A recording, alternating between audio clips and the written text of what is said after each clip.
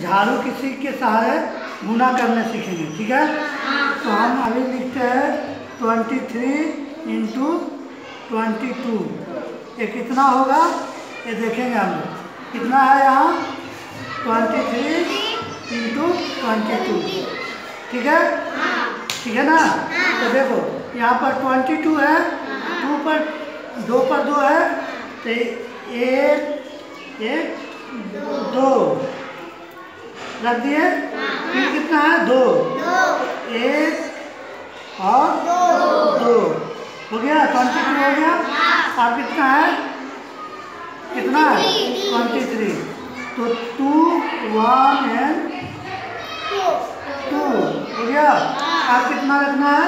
Three one two three हो गया? यही हो गया हमारा twenty three into twenty two ठीक है?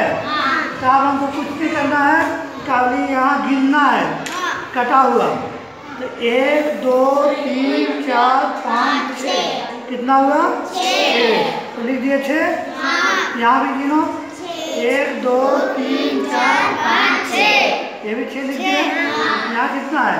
एक, दो तीन चार ठीक है और यहाँ भी एक दो तीन चार अब हम कुछ नहीं करेंगे यहाँ जो छः है ये सबसे यहाँ ले लेंगे। छः। ठीक है? ये छः उतार दिए यहाँ। अब ये दोनों को जोड़ देंगे। छः और चार? दस। का? हाथ में? एक। और यहाँ कितना हो चार? एक और चार? पाँच। तो इस तरह से देखो तेईस गुने बाईस कितना हो गया? पाँच सौ। तेईस गुने बाईस कितना हो गया? ठीक है? इस तरह से हम लोग क्या दिखाएँ? तेईस गुने बाईस बराबर पाँच सौ छः। ठीक है? ठीक है ना सब कोई? इसी तरह से अब हम लोग तीन अंक का भी करेंगे। ठीक है। ठीक।